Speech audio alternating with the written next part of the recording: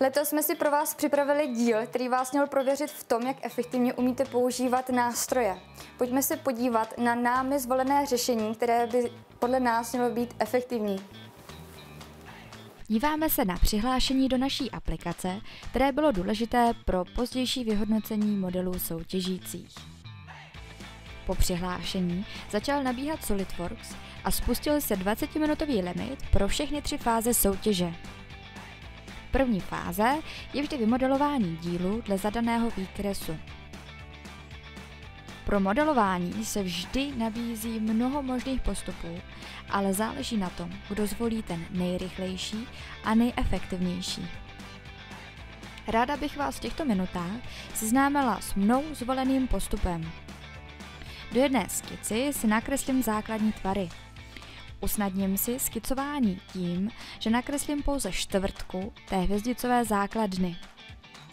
Vyhýbám se ořezávání. Následně mohu v prvcích použít nástroj výběru obrysu. Je to rychlé a efektivní. Při skicování často využívám kontextových nabídek a gesta myši. Za okamžik uvidíte využití klávesy D. Ke kurzoru myši se přesune ikona pro ukončení skici. Dále využívám klávesy S, kde najdu základní nástroje.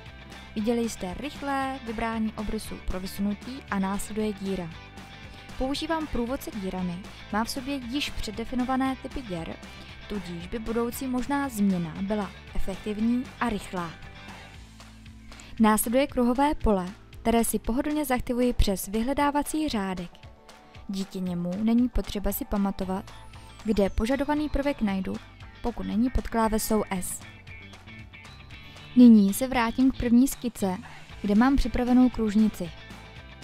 Tu v prvku přidání vysunutím odsadím do potřebné výšky, upravím a zadefinuji samotné přidání a rovnou mohu zadat hodnotu úkosu.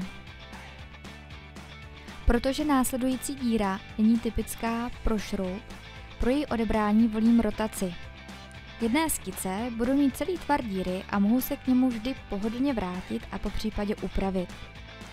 Zadám potřebné rozměry pro její zadefinování. Kótu jsem zaktivovala takzvaným gestem myši. Pod gesta si můžete nastavit své oblíbené nástroje. Jejich používání je pohodlné a rychlé. Momentálně mám stejně jako soutěžící SolidWorks ve výchozím nastavení. Zbývá mi odebrat drážku. Její skicu umístím na vrchní plochu. Jednoduše nakreslím tvar a za pomocí vazeb zadefinuji polohu a přidám potřebné rozměry. Všimněte si, že jsem si zobrazila první skicu se základním tvarem, abych se chytila již vytvořené geometrie. Nemusím tedy znovu nic kreslit. Drážka je zvlášť ve skice kvůli možným změnám, které by mohly následovat ve druhé fázi. Na závěr přidám všechna zaoblení. Na výkrese bylo námi doporučené pořadí. Postupně tedy všechna zaoblení dle doporučení přidám. Pro výběr více hran využiju kontextové nabídky, která mi nabízí různé možnosti. Stačí si jednu vybrat a okliká všechny hrany k zaoblení za mě. Po dokončení modelu je zapotřebí kontrola čidel. Nyní nás zajímají ta s textem Start – po zmáčknutí Ctrl Q musí být zasnutá. To je signál, že mám vše v pořádku a mohu pokračovat do druhé fáze. Ve druhé fázi je důležité co nejrychleji upravit stávající model dle změnového výkresu. Letos byla na výkrese tabulka oprav, kde byly všechny změny přehledně seřazené. Začnu tedy první změnou, a to zpevnění obvodu. Vrátím se ve strumu historie k prvnímu prvku, Zvlášť do skici jednoduše nakreslím vnější tvar zpevnění. Pak v prvku přidání vysunutím zatrhnu volbu ten kostěný prvek a navolím správně tloušťku i přidání. Samotné objemy si SolidWorks sám sjednotí a bude zbývat zaoblit ostré rohy vzniklého zpevnění. Ty zaoblím za pomocí prvku a využití kontextové nabídky. Změnou prošla i díra v základně. Díky tomu, že je řešená průvodcem dírami, stačí pouze změnit její typ, vybrat správnou normu a velikost. Nemusím nic složitě kreslit, její polohu zadefinuji dle úplně první skici. Tu si zobrazím na pracovní ploše a díru stačí jen posunout do toho správného místa. Ostatní prvky zůstaly beze změn, tudíž mohu přejít k dalšímu kroku. Díky spevnění vznikly na základně ostré rohy, které je potřeba zaoblit.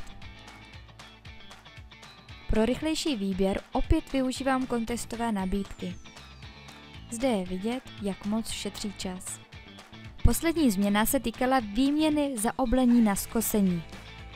První si tedy do konkrétního prvku zaoblit přes kontext oklikám vše potřebné. Od verze 2017 je možné prvek zaoblit přepnout na skosit. Po dokončení druhé fáze je opět potřeba zkontrolovat čidla s názvem Edit. Po zmáčknutí Ctrl Q musí zhasnout. V poslední fázi jde o jednoduchý výpočet přes nástroj Simulation Express, který je zdarma v každém SolidWorksu. Dle zadání jako první zadefinuji uchycení. Poté je důležité zadat, na jakou plochu a jak velká působí síla. Materiál byl celou dobu přednastavený v šabloně, můžu tedy rovnou spustit výpočet.